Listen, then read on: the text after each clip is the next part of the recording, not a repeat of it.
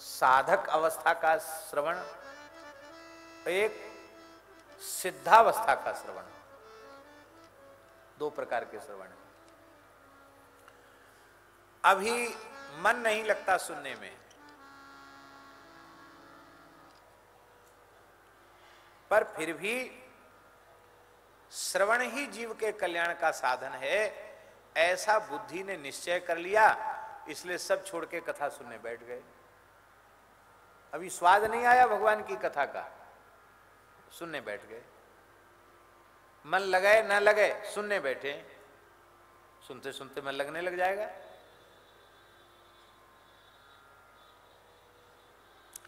ये हुआ साधक अवस्था का श्रवण।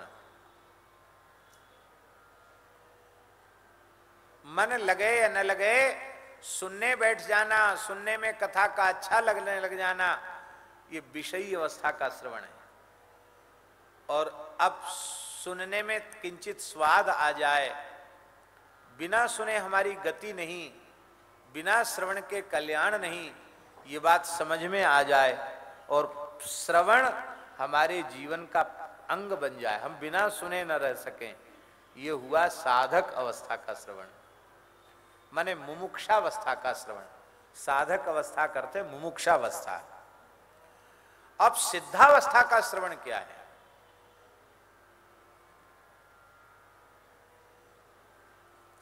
सिद्धावस्था का श्रवण क्या है? सिद्धावस्था का श्रवण श्रवण नहीं होता। श्रद्धावस्था का श्रवण तो साक्षात लीला के रूप में प्रकट हो जाता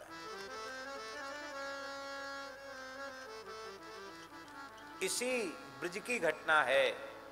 प्रेम सरोवर पर श्री गोविंद लीलामृत का वर्णन एक महापुरुष कर रहे थे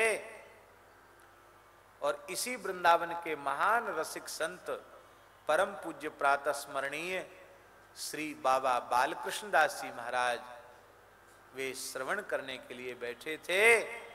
तो बाबा जी सुना रहे थे, लालटिन जल, जला करके रात्रि के समय।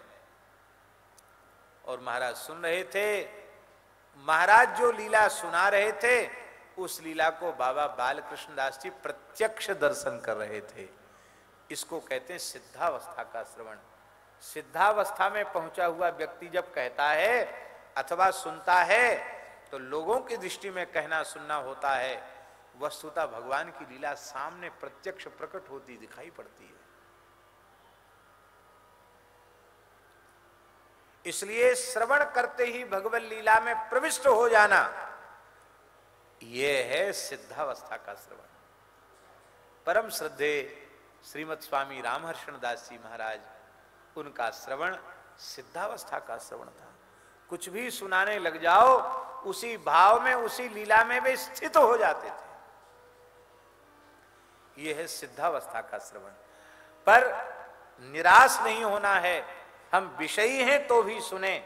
विषयी सुनते सुनते मुमुक्षु हो जाएँगे, साधक हो जाएँगे और साधक की अवस्था में सुनना शुरू करेंगे तो कभी न कभी सिद्ध हो जाएँगे।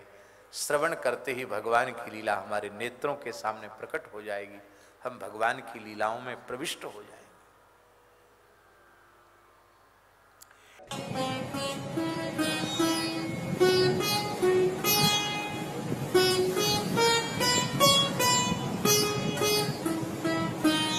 श्री सीताराम। प्रतिदिन सत्संग एवं दर्शन के लिए श्री महाराज जी के ऑफिशियल चैनल को ज़रूर सब्सक्राइब करें।